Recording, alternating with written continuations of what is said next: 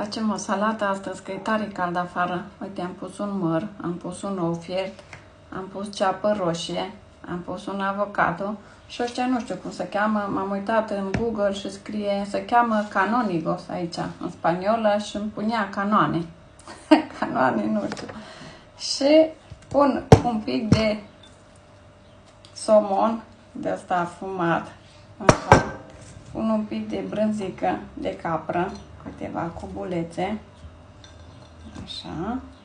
Și pun niște, un mix de asta cu nuci, cu migdale, cu stafide și un pic de ulei de măsline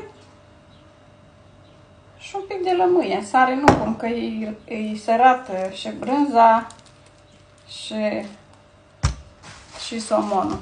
Și poftă bună!